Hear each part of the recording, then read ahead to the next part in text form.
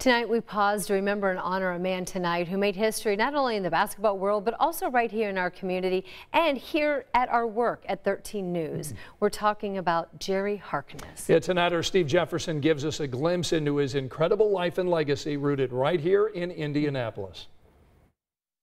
I started on the team, I became the top scorer, and I led them to the championship.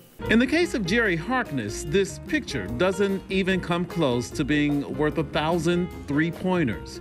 It shows Harkness shaking hands in 1963 before what's now called the game of change.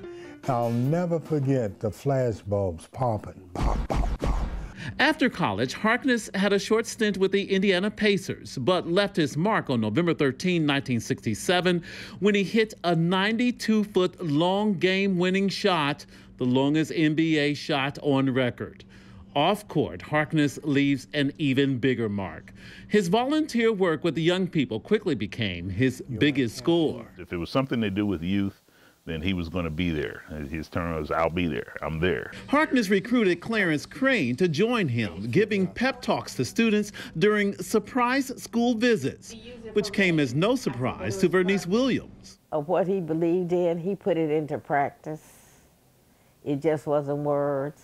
He put it into practice. Impressed with his community service, Williams put together this photo collage of Harkness several years ago. It shows some of his success as a community leader. But perhaps Jerry's most public achievement is becoming Indy's first black sports broadcaster. No doubt it was a strategy. Dean did a good job with the talent he had. Anytime one of us achieve, we all achieve. I was glad to do that he did that, and it, you know, it broke some lines down here in, in, in Indianapolis.